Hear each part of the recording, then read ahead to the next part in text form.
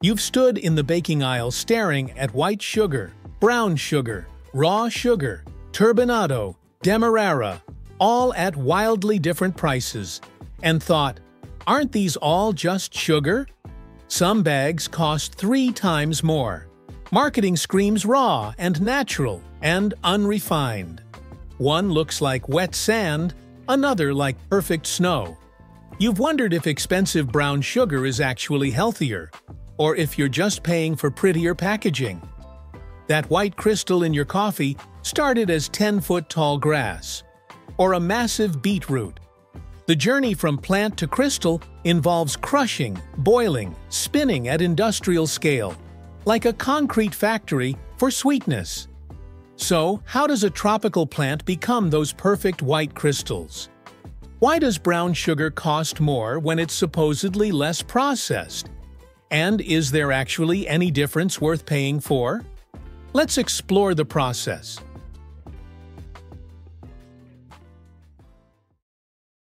Sugar comes from two plants, sugarcane and sugar beets. Most people have never seen either one growing. Sugarcane looks like bamboo, 10 to 15 feet tall, thick stalks full of sweet juice. Grows in tropical climates Brazil, India, Thailand? You've seen it in movies without realizing that's where table sugar comes from. Sugar beets look like giant white carrots growing underground. Europe, North America, Russia, about 20% of world sugar comes from beets, 80% from cane. You've eaten both without knowing which. Chemically identical by the time they reach your kitchen. Here's what's happening. Both plants store energy as sucrose. Sugarcane in stalks above ground, beets in roots below. Humans extract that energy and crystallize it. Extraction starts brutal. Sugarcane stalks get fed through massive rollers that crush them flat. Three or four passes, each squeezing out more liquid. What comes out is cloudy brown juice that smells sweet, but looks nothing like sugar yet. Sugar beets get sliced thin, soaked in hot water to dissolve sugar out. Same goal, different method.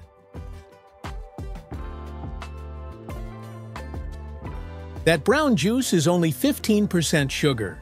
The rest is water, plant fibers, minerals. Making it into white crystals requires removing everything that isn't sucrose. First, heating. Juice gets boiled to evaporate water. Lime gets added to neutralize acids and make impurities clump together. These clumps settle or float, where they can be skimmed off. Now here's where it gets interesting. Clarified juice goes into vacuum evaporators, massive chambers where juice boils at lower temperature because pressure is reduced. Why? High heat would caramelize sugar and turn it brown. Vacuum boiling keeps it clear while concentrating from 15 to 65% sugar. At this point, you have thick brown syrup. Crystallization requires precise control. Syrup goes into huge pans, boiled while stirred constantly. Tiny seed crystals get added, and dissolved sugar molecules attached to them, growing larger. This is where brown and white sugar split paths, and where most people get confused about what raw and refined mean.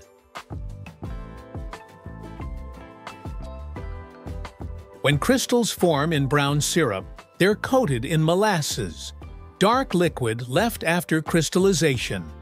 Those crystals get spun in centrifuges, salad spinners the size of cars. Spinning forces molasses outward through holes, leaving crystals behind. First spin produces brown crystals coated in molasses. This is raw sugar. Second spin removes more molasses. Third spin makes crystals almost white. But truly white sugar requires one more step, washing through activated carbon that absorbs remaining color. This is what refined means, not chemically altered, just washed more thoroughly. You probably thought brown sugar was healthier because it looks less processed. It is less processed by one washing step. Nutritional difference? Negligible. Brown sugar has tiny amounts of minerals. White sugar is 99.9% pure sucrose. Brown is 97%. Both hit your bloodstream the same way. Brown sugar costs more, not for health benefits. It's logistics. Brown sugar clumps because molasses absorbs moisture. Needs special packaging. Shorter shelf life. White sugar stays free-flowing for years.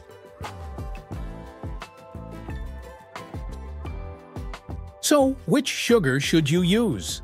Depends what you're making. White sugar is pure sweetness. Use when you want sugar to disappear. Drinks, light cakes, meringues. Brown sugar has molasses flavor, caramel notes, moisture that makes cookies chewier.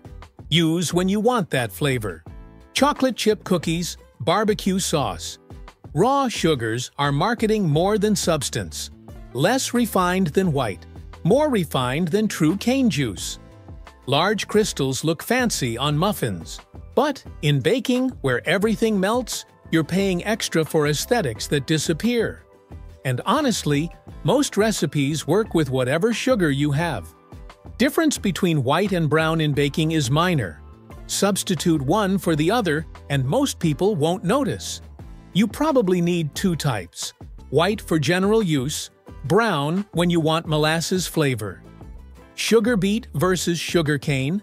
Indistinguishable once processed. Chemical analysis can't tell them apart. Neither can your taste buds.